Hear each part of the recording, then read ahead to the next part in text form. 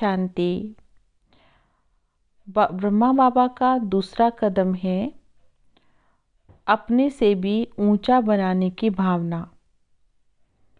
बाबा हमेशा हर एक को रिगार्ड देते थे और हर एक को आगे कैसे बढ़े उस पर ध्यान देते थे।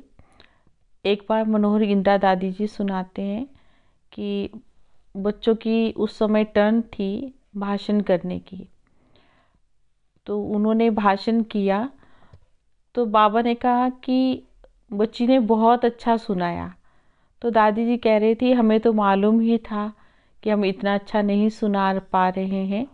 लेकिन बाबा फिर भी हमें इतना रिगार्ड दे रहे थे कि बच्चे, बाबा को भी नहीं आता है ये तो। तुमने तो बहुत अच्छा सुनाया। तो इस प्रकार से बाबा हर बच्चे का मनोबल ऊँचा करते थे।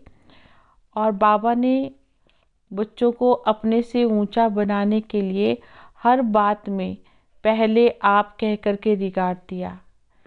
पहले आपका पाठ अपनी वृत्ति, दृष्टि, वाणी और कर्म में लाया और सदा हमेशा माताओं को आगे रखा।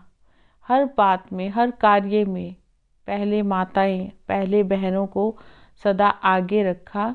ऐसे फॉलो फादर हम भी अगर करेंगे, तब हम बाप समान बन सकेंगे। ओम शांति।